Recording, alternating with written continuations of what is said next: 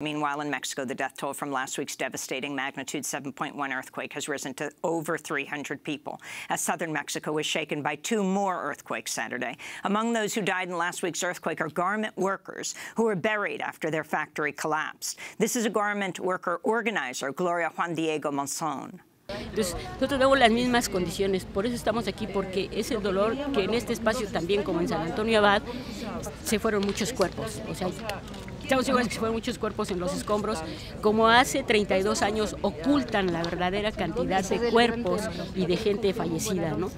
por eso estamos aquí, porque nosotros seguimos luchando, yo dije, en nuestros espacios.